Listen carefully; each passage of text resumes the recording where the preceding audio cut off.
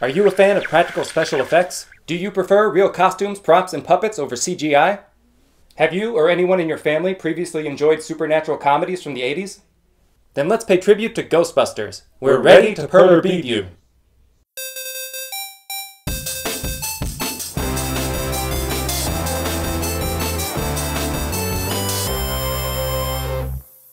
We are so very lucky to exist in the same reality as Ghostbusters. I think just about every aspect of this movie is perfect. The performances, the jokes, the genuine scares, the chemistry of the cast. This is top tier movie making.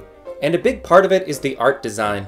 Despite the supernatural elements, I love how grounded the film is. The Ghostbusters gear and ghosts themselves feel real and tangible. That's because they were. This was the first comedy to employ such expensive special effects, which were mostly creating puppets and models, often shooting them separately, then physically overlaying the footage to give the ghost a transparent, otherworldly feel. The fact that this movie went from pre-production to release in 13 months is insane. The strict shooting schedule meant that most of the 630 special effects shots had to be done in one take.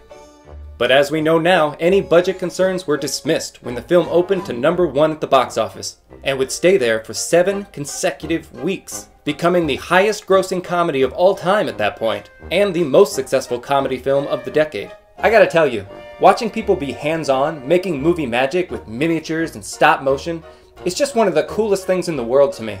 To see all the hours and passion that go into creating something in meticulous detail this is why I prefer to make real, handmade pixel art instead of strictly digital. And now, with a new Ghostbusters movie on the horizon, there's no better time to pay tribute to some of my favorite Ghostbusters iconography.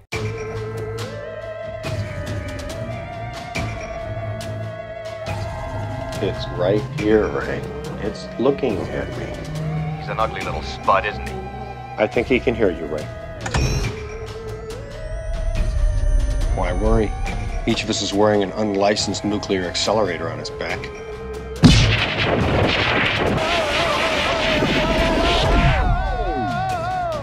Shooting, Tex.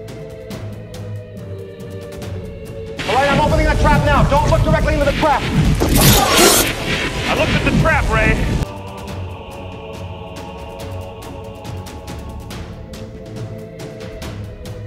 Closing it. Now!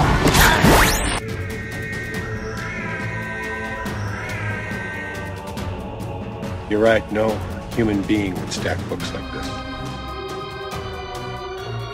It's the Stay Puft Marshmallow Man. I'm terrified beyond the capacity for rational thought.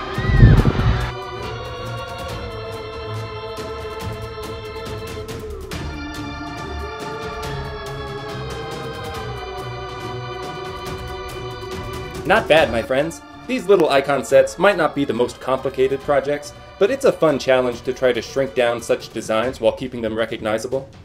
You can take these pieces and make them magnets or pins, even mount them on a canvas just to make a fun collage. It's all up to you. Click right there to get the patterns to make your own. Thanks for watching.